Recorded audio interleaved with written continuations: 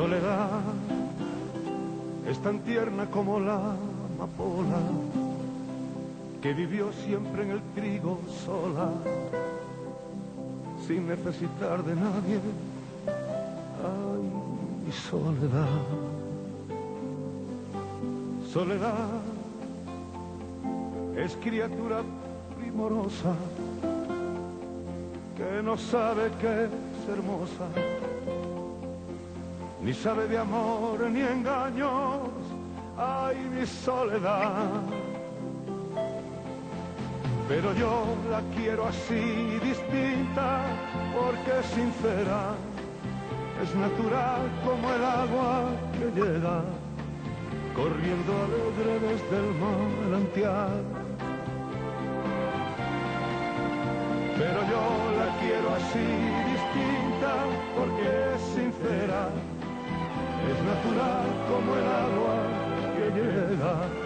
corriendo alegre desde el manantial, no sabiendo ni a dónde va, qué feliz vive mi soledad. Ay, mi soledad.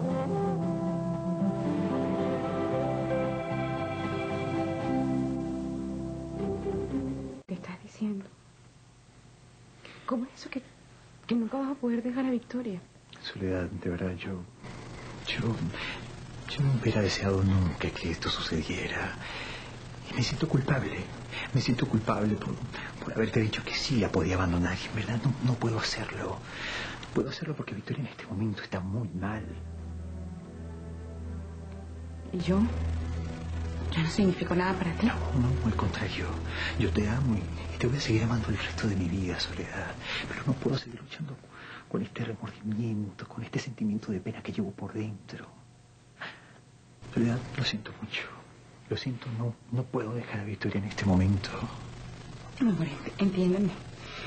Victoria te está engañando. Victoria te está manipulando. Soledad, Victoria, Victoria está muy mal. Está en una clínica. Por Dios, abre los ojos, abre los ojos. Victoria te está mintiendo. Soledad, yo, yo entiendo por qué dices todo esto, pero ahora te equivocas. Es más, el propio hijo me lo dijo. Victoria está internada en, en la clínica donde él trabaja y él la está tratando. Yo no puedo creer que ustedes sean tan ingenuos, que se han dejado engañar por Victoria. Soledad, entiéndeme, Soledad, ella- entiéndeme, Miguel Ángel. Ustedes están siendo manipulados por Victoria. Los está manipulando a su antojo. Se están dejando llevar por su juego, por la obsesión que tiene de no permitirnos ser felices. Pero, pero de qué... Ella no quiere, no quiere que estemos juntos, nos quiere separar. Soledad, yo entiendo. Yo entiendo que tú te sientas herida. Pero Victoria no sabe nada de lo nuestro. Así que yo, yo no sé de dónde tú sabes que, que Victoria está fingiendo. Pero bueno, pues ya, díganse algo. Por lo menos dense un abrazo, ¿no? Ay, abrácense si son padre e hijo que se están conociendo. Ay, lo menos que pueden hacer es abrazarse. Ya, Leo, vamos.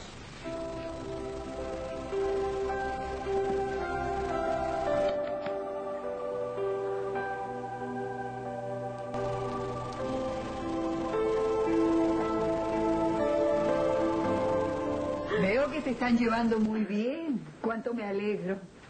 Bueno, yo ya me he ido.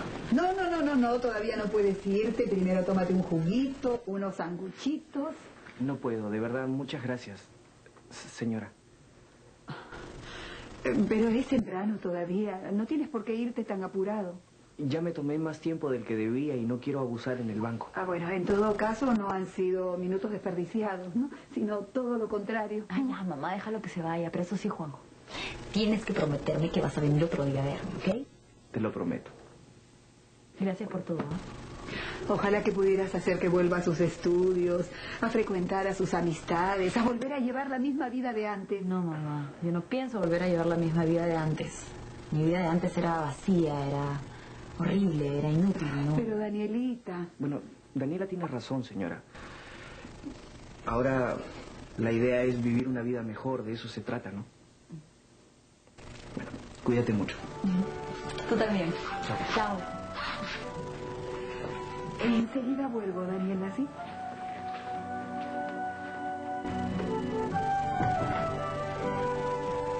Eres un ángel, te amo tanto. ¿Qué haces? Es que estoy tan feliz. No había visto a mi hija sonreír desde su accidente. La noté tan cambiada, hasta su actitud era otra, diferente. Daniela tiene heridas muy serias, pero las peores las lleva en el alma. Es absurdo que piense que con media hora de conversación la he curado o algo así. Tu hija está muy mal. Sí, lo sé, lo sé. A ella le falta mucho para salir adelante, para vencer esa amargura de años. Bueno, pero estoy segura que con tu ayuda la vas a hacer olvidar tanto dolor. Tú eres capaz de cambiarle la vida a cualquiera, de eso puedo dar fe. No lo sé. Todo eso es tan raro, tan incómodo. Pero tú la viste. Su mirada, sus gestos, era otra. Sí, sí. Laura, tenemos que hablar. Está bien, nos vemos más tarde en el departamento y voy a tratar de convencerte para que no rechaces la oferta de Jorge. Justamente acerca de eso es que quiero hablarte, pero ahora no puedo. Primero tengo que hablar con mi mamá algo. ¿Has vuelto a discutir con ella por mi culpa? No, hablé mal de Soledad delante de ella, que es peor. Mañana nos vemos. Está bien. Hasta mañana. Yo, yo de verdad me siento, me siento muy mal por haberte separado de tu familia, por haberte hecho que abandonaras todos tus principios. Pero de verdad, todo esto que hice, lo hice porque realmente te amo, Soledad. Mi amor, entonces luchemos por este amor. Mi vida, escúchame, escúchame, yo sé que vale la pena. A lo mejor es cierto. A, a lo mejor yo yo, yo, yo, yo te he presionado, yo puedo esperar un poco más. Yo, yo he sido injusta No, contigo. no, no, Soledad, no, no, no. Aquí lo único que ha sido injusto contigo y con Victoria he sido yo. ¿Qué es lo que estás diciendo, mi amor? ¿Qué es lo que te tiene amarrado a ella? Ok. Puede, puede ser que sí, ella está enferma o no está enferma, pero igual. Nosotros no tenemos la culpa de lo que sentimos. Soledad, tú no la has visto, no la has visto. No sabes lo que está diciendo porque no la has visto. Mi amor, entiéndelo. Si ella está enferma y si está tan mal como tú dices... mi amor, ella no sabe lo que pasa entre nosotros. Tú mismo lo dijiste. Soledad, yo me siento culpable por todo lo que ha pasado. Yo me siento culpable. ¿Por qué? No entiendo. ¿Por qué? Tranquila, no, no se trata de ti, no tiene nada ¿De que ver quién se trata, por Dios? ¿De Soledad, quién? se trata de mi hijo. El hijo que Victoria perdió cuando estaba embarazada. Lamentablemente hay una parte de esta historia que tú no conoces. Y ese embarazo de Victoria fue truncado por mi culpa. Yo soy el único culpable de que Victoria haya perdido ese niño. Soledad, to- todo ese dolor que siente Victoria, todo ese dolor es ocasionado por, la tristeza que ella siente, por el error que yo cometí. Porque todo esto, yo soy el único culpable, ¿entiendes? Eso no puede ser verdad. Lo, lo que tú estás diciendo no puede ser verdad. Un día llegué a la casa y Victoria empezó a reprochar, tenía un ataque de celos, que yo tenía algo